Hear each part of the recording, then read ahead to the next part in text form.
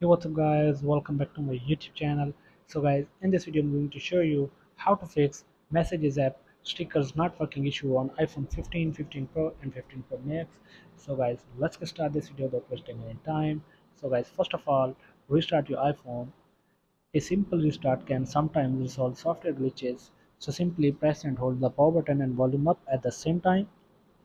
So drag the slider to the right to power off your iphone.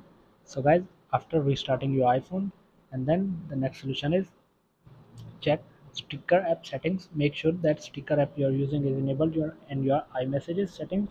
Simply go to settings scroll down tap on messages. So simply turn on the iMessage. And also the after enabling the iMessages so simply enable the uh, sticker. Make sure that sticker is enabled.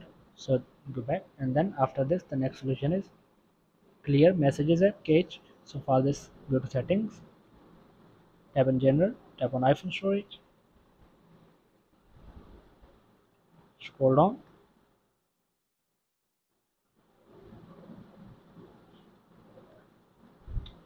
Sorry. Here is the messages app so remove all the data and from here and then force close messages in and then after this the next solution is reset your network settings.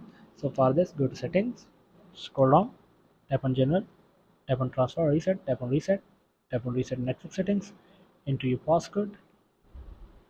Simply tap on reset network settings and then after this the next solution is update your iOS to the latest version. So for this go to settings tap on general tap on software update. So wait for checking for update. So i have the latest version. Go back now. So guys here are the some simple solutions to fix your issue. So guys thanks for watching this video. Please like share and subscribe. Thank you guys. See you in the next video. Thank you